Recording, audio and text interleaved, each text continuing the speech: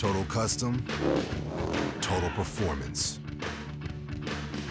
The 80 cubic inch Stryker and 113 cubic inch Raider, only from Star Motorcycles. We build it, you make it your own.